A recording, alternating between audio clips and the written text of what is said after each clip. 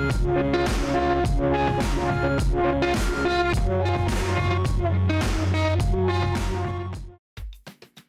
name is Graziele da Silva.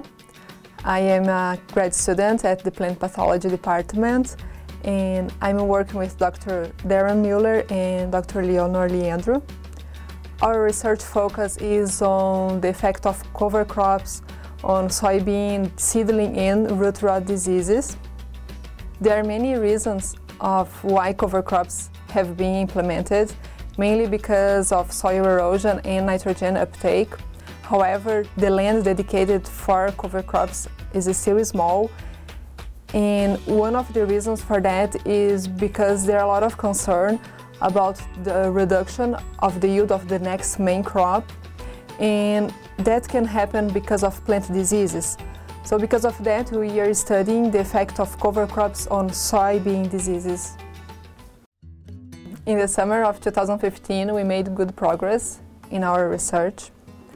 We used two field trials where we had long-term cereal rye that was used as cover crop and we made some assessments on soybean that included um, soybean stand count, root rot severity.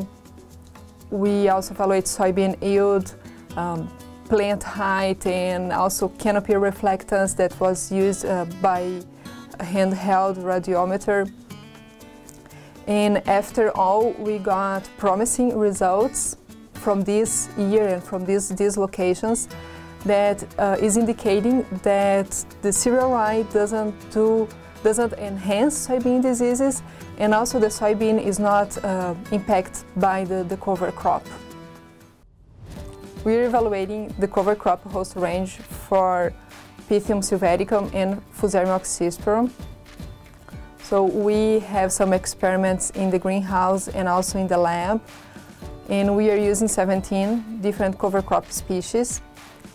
And we already got some results and it seems that there are some species that are non-hosts for these pathogens. However, we, we need more research to, to draw a more conclusive result. Some of these species we planted uh, in the field in 2015 after the soybean harvest.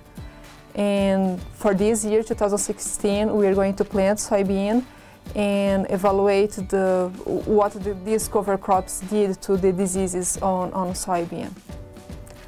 I'm delighted to work in this project because we are addressing questions that can be directly used by farmers and growers and they are our motivators and also the reason that we develop research.